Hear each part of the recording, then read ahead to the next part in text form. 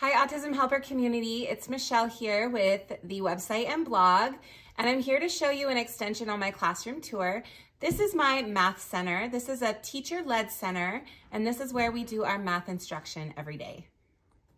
In my classroom, I have six centers, and my students rotate through those centers every day. Two of my centers are teacher-led, and the other four centers are independent centers. I utilize one of my paraprofessionals as a floater that floats between all of my independent centers, and then another paraprofessional runs my English Language Arts Center. During my centers, I have one to four students at each center, and I group my centers based on behaviors, academic level, and cognitive level as well. One of my favorite items to use through my centers is the Easy Matching Weekly Workbooks from the Autism Helper. There's a workbook for each day of the week and there are several different topics. So in my class, we're able to give some of our students at our center one of these to work with while we work closely with another student to focus on their IEP goals. And here's just what the Easy Matching Weekly Workbooks look like. Some of them are errorless tasks and others are simple matching tasks. These are both fun and engaging for my students.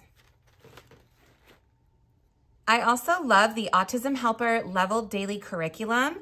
In my classroom, we use level 0.5 as well as level 1, and some of my students are starting to use the new level 1.5.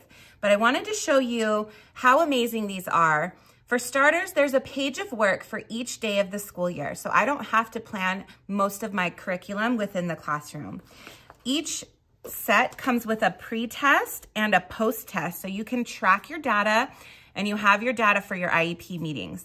Here you can see the student scored 37% at the beginning of the year, and he grew all the way to 73% um, after the first 20 days. This was just 20 days worth of practice and you can see the growth here. And then this is level 0.5, so we focus more on tracing and pre-writing skills. And in level one, you're working more on writing numbers and counting, as well as adding. The Autism Helper Level Daily Curriculum works best when paired with supplemental activities.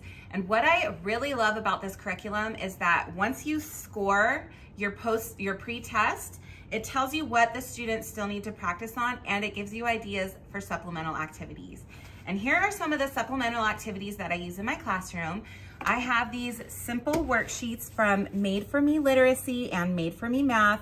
These are worksheets that we turned into work tasks. You can make any worksheet into an interactive work task using Velcro and lamination.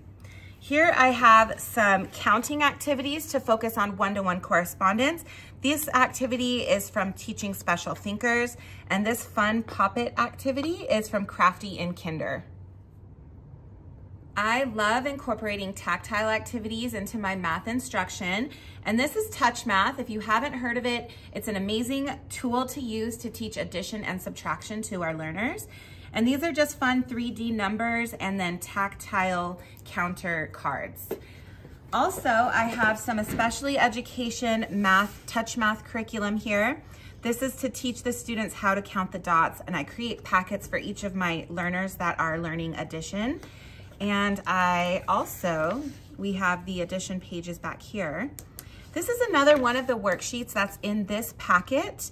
Um, and I just made it into a work task again using Velcro and lamination.